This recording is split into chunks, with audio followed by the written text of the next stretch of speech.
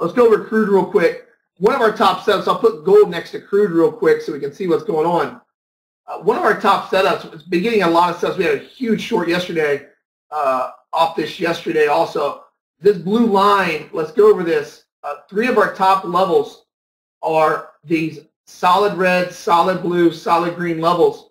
That's market profile. The blue line is very important with trend. And you're going to see tons and tons of trades that are very effective with the arrows and just uh, retesting this with trend, the blue level, because that's the most volume that's traded. So you see on crude, it's rejected it twice. And uh, it's one of my favorite spots to trade with overall trend direction because if we know our filter, our trend filter is down, if it's down, I love to trade off these spots. And if the arrows lined up, I sent you charts uh, to you yesterday, how they lined up yesterday for a big short, just under $500 per one contract, really nice, easy short yesterday in the morning off the control point. But you can see the activity you get off this. Now, this works on all markets. You get really nice activity off that. Uh, here's gold this morning, and here's crude that that blue line, what it represents, that's taking all the volume that's coming in the market, that thick, solid blue level. These solid red, blue, and green levels, if you see an arrow that fires on these levels, that's your most important time to get in the market because this is actually volume that's coming in from all the hedge funds, algorithms, prop firms, amateur, professional traders, amateur traders. It's calculating all the volume that's coming in and it's looking at a long-term profile right here. It's a profiling. It's a roadmap. So I love to filter the arrows off of these three levels, blue, green, red. In fact, let's say I'm outside of it and I close back inside. Let's say I'm outside of red and I close back inside. I automatically look for an arrow to retest and go short right off of that and I look for a big move. Vice versa, if I'm outside of the green and I come back inside of it and I look for an arrow to get in to cross, retest, I look for a huge move to the upside. You'll see a lot of these. Oops. So you can play off these levels. See a big ABC move this way. I'll show you what an ABC will look like. Or if I close back below the control point, I'm sorry if I close back above it. All right, if I close back above it, then what I'll do is I'll look for a move up, a retest. And then I'll look for a huge move to the upside, big, powerful move. So, in other words, you really want to play off these. The best are with trend, but these three levels are your most importantly going to trade off of because they dictate where you should be trading solid red, solid blue, solid green. That's my most important profile. Don't get caught up in all these different lines. Volume is the most important. You're going to see a lot of signals that come up where this is where you want to trade off of. Gold, this is where you want to trade off this morning. With a gold arrow that fired off right here, right exactly at the level we, right here. You, you know, you want to see, had, it, had it, you had the crude yesterday Crude fired right there yesterday morning, right where that circle's at, a huge move down.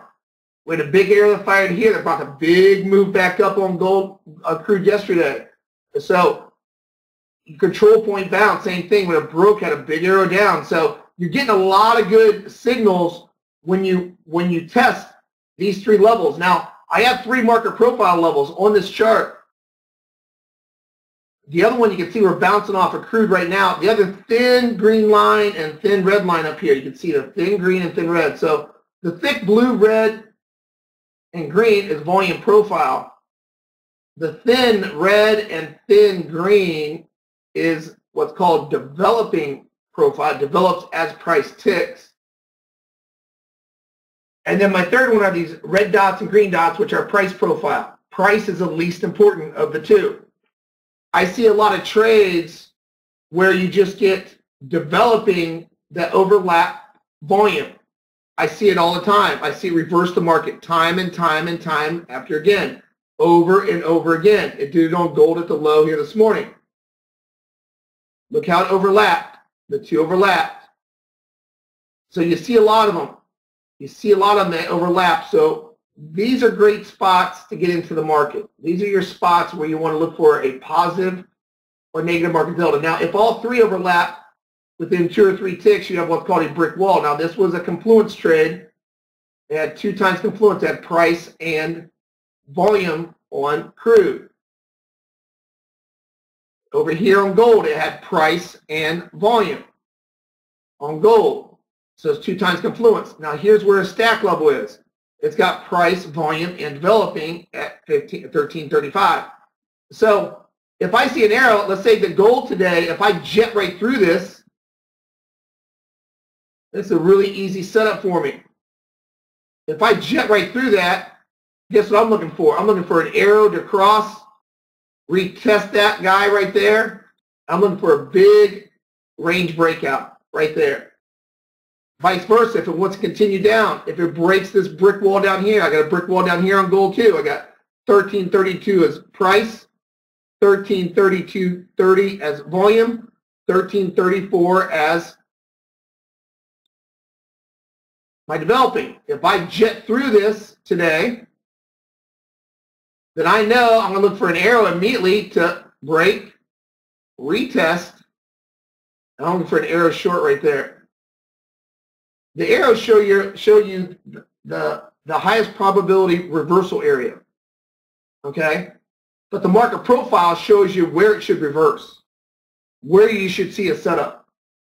And this is the roadmap of the market. It's been working for going on 33 years. 33 years, man. It's not luck that it stopped right here at the blue line and stopped at the green level low and green level low here. It's not, that's not luck. That's not chance. It happens on a daily basis because it's a roadmap of the market. But you got to put it in order of importance. I can trade off just the red, blue, and green levels, solid levels by themselves, all by themselves. That can reverse the market all by themselves, just by themselves with the overall trend direction.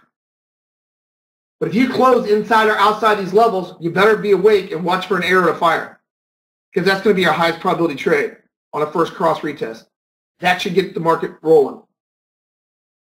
All right, so we'll watch out for gold today. We'll watch if it gets through 32, gets through 35. If it does, we're going to have a productive entry in the market. On crude oil inventories, we know if we break through 61 here, that little brick wall right there, right? You got a price profile. See that? Price, and so on. All right, Gerald, let's shut that off. So now as we got the market trying to do a range breakout on gold, what are we going to do? We're looking for a retest of 28. We'll see if we get back up to 28. Retest continuation.